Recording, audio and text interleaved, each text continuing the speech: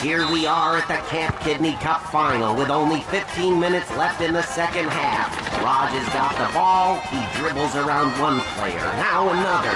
Dishes to Lazlo. Lazlo beats one, now two player. Wait a second, what's this? A naked man on the field? Whoa! Oh, I'll have to tell Scoutmaster Lumpus about this. Cartoon Pop, the Cartoon Network Originals. Everybody wants to be part of it. Monday through Sunday on Cartoon Network.